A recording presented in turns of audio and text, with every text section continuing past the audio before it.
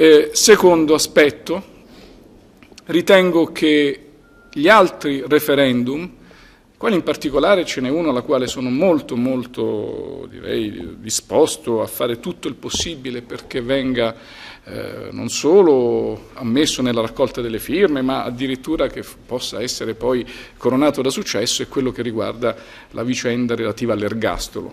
Io ritengo, sotto tutto punto di vista, che una, una speranza, sia pur piccola, non debba mai essere eliminata per chi che sia. Questa è la sua vocazione, il suo gusto direi anche e io per questo motivo sono lusingatissimo di oggi essere qui a fianco a lui. Faccio un'ulteriore eh, considerazione.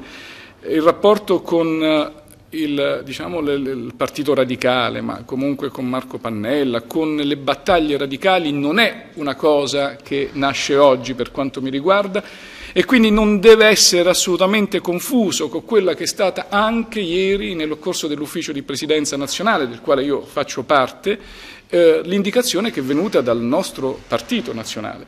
Quindi partito nazionale che nel caso specifico, per bocca del suo Presidente, ha eh, dichiarato ieri all'ufficio di Presidenza, mettendolo comunque all'esame dell'ufficio di Presidenza, l'adesione convinta a, a questa eh, fase referendaria.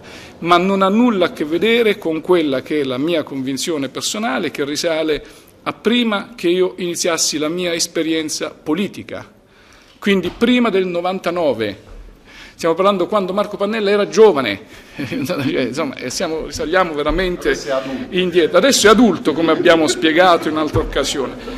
E in quell'occasione io eh, sostenni già allora. Ma eri lattante allora. Non so, appunto, vedi, però dopo. E quindi ero forse per alcune cose anche un po'. e, e, sostenni non solo alcune battaglie radicali, ma e, e la è la prima tessera di partito che io abbia mai avuto. Dopodiché eh, sono stato eletto sindaco di questa città senza essere iscritto a nessun partito, sono stato eletto presidente della regione senza essere iscritto a nessun partito. La seconda tessera che ho eh, sottoscritto nella mia vita è stata quella del PDL quando si è costituito.